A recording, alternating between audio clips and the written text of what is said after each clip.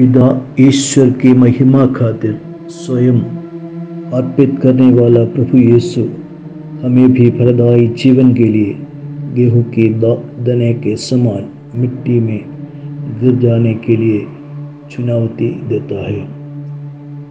संसार की ज्योति प्रभु मसीह हमें उस ज्योति के साथ रहने के लिए बुलाते हैं।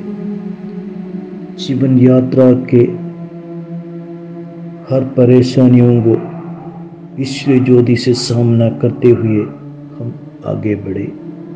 हमारे राष्ट्रपिता महात्मा जी देश की आज़ादी का लक्ष्य हासिल करने में जो जो कठिनाइयों का सामना किया है, वह हमें प्रेरणा देते हैं।